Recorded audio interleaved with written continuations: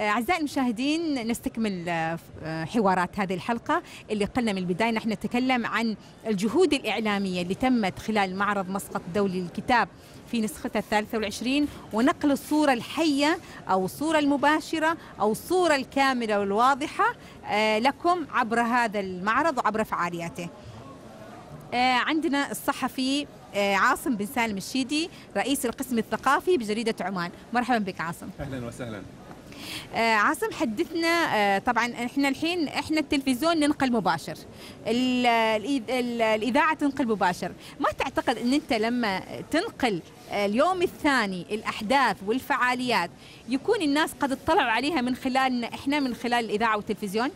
هذا طبعا آه، صراع آه، تعيش الصحف يعني نعم. من زمان الصح- الصحافة الورقية تعيش هذه المشكلة التي أيضا تفاقمت مع وجود آه، الصحافة الإلكترونية نعم. ومع وجود وسائل التواصل الاجتماعي نعم. ولكن هذا يدعنا أمام تحدي آخر وهو تحدي البحث عما وراء الأخبار ومحاولة إيجاد تفصيلات أخرى في الأخبار وعرضها بطريقة مختلفة بعيدا عن الجانب الخبري. آه، إحنا نحاول أن نجري حوارات طبعا أنتم تنافسون في هذا أيضا في مجال الحوارات وحواراتكم أسرع وتنقل مباشرة لكن نحاول أن آه، نخوض في تفصيلات أكبر قد لا يتسع لها آه، البرنامج التلفزيوني أو حتى البرنامج الإذاعي ولكن يبقى السبق الخبري الآن بعيد عن الصحافة الورقية. هذا اللي فعلا ممكن نقوله إن فعلا الصحافة تعطي صورة شاملة وأوضح لأن الوقت للبرنامج التلفزيوني الوقت الإذاعي أقل فلذلك ما تقدر ترصد كل الفعاليات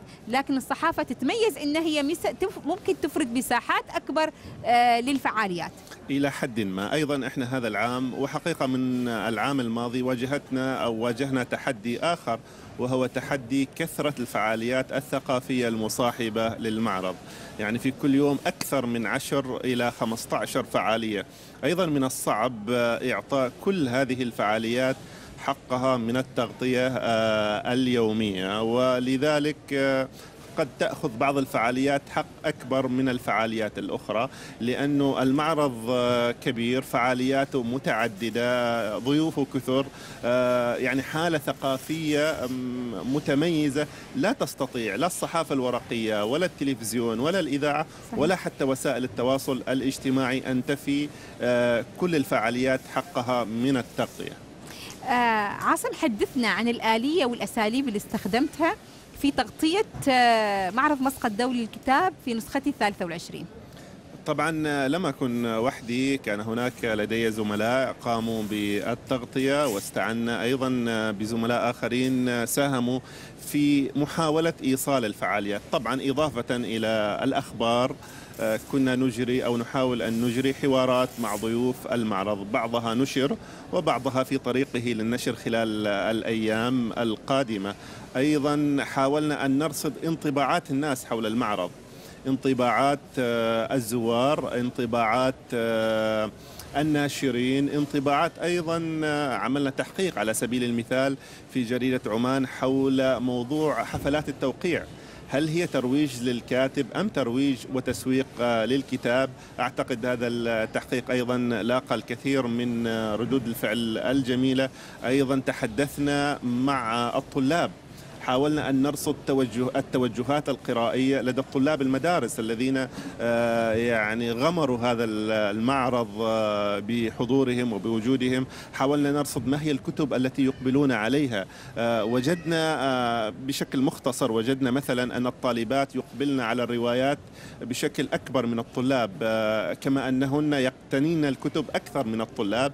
إحنا نسبتنا أكثر زائري آه، في نعم. الخمسينات 53 تقريبا من النف- النساء من النساء نعم. والطالبات كانت الإناث. يعني شكلنا نعم. يعني نسبة كبيرة نعم. أيضا لاحظنا أنه هذا العام بشكل عام سواء مع الطلاب أو حتى مع عموم آه، آه، زوار المعرض أنه الرواية تشكل آه، هاجس طلب أكبر نعم. من الشعر الشعر الطلب عليه تراجع نوعا ما أيضا الكتب التاريخية والكتاب السياسي كان القارئ يبحث عنه بشكل أكبر إضافة إلى الكتاب الديني الذي يعني بقي يعني مطلوب بشكل كبير. هذه الأشياء حاولنا إحنا أن نرصدها بشكل يومي. آه، أنا وفريق الزملاء الذين كانوا يغطوا المعرض عن جريدة عمان. آه عاصم أنت رئيس القسم الثقافي. كيف ممكن معرض مسقط الدولي للكتاب بفعالياته بإصداراته ممكن يساهم في إثراء مواضيع وعناوين دائمة لتحقيقات لمقالات طوال العام؟ طبعا إضافة إلى التغطية اليومية والتغطية الآنية إحنا نحاول طبعا آه، حاولنا أن نقتني عدد كبير من طبعا من الكتب من ضمن مجال اهتماماتنا. هذه الكتب لو قيض لنا أن نقرأها آه، ونتمنى ذلك طبعا آه، لابد أننا سنكتب عنها أو سنحاول أن نكتب آه، آراء وانطباعات صحفية عن هذه الكتب. إضافة أنه الواحد لما يقرأ كتاب ويقرأ لكاتب ثم يلتقي بهذا الكاتب يحاول أن يحاوره في موضوع هذا الكتاب وفي مجمل أعماله. هذا يشجع أيضا. تعرفي أن القراءة هي وقود كما يقال هي وقود الكتابة وبشكل خاص أيضا الكتابة الصحفية. أنه إحنا إذا لم نقرأ كتب إذا لم نحضر فعاليات ثقافية فكيف يمكن أن نكتب ونغطي نكتب استعراضنا لهذه الكتب نحاور هؤلاء الكتاب؟